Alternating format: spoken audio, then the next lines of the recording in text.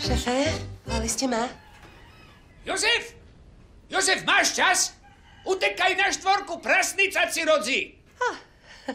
Poďte ďalej, Balažikova, sadnite si. Nie, nie, ďakujem, postojím. A čo vám netrávi? E, o, nie, nie, nie.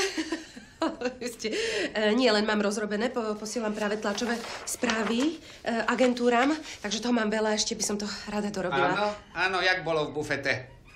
Počúvajte ma, Balažikova, na budúce, keď pôjdete na kobereček, tak si aspoň utrite hubu. Pardon. Na koberček? Máte na mňa ťažké srdce? Balažiková, ja mám na vás tašké srdce, tašký mechúr, tašké ladviny, ja mám tašké všetko. To, čo ste tam vyrábali na tej tlačovke. Tlačovka bola absolútne v poriadku, šéfe.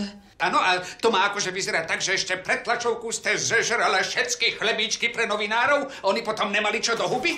No, lenže... No, lenže, lenže, alebo tu, jak ste sa tam nahýňala na konec toho stola pre tie onej chrúnky.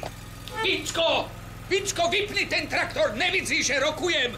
Balažiková, hovorkina má byť chudá, svinetučné. A keď si vy na toto nedáte pozor, keď si vy toto neuvedomíte, ja vás odtiaľto vyhodzím, vy polecíte na fleku. Lebo víte vy čo? My vás na tie oné propagačné materiály budeme fociť místo tých prasníc. A bárs aj. Holu.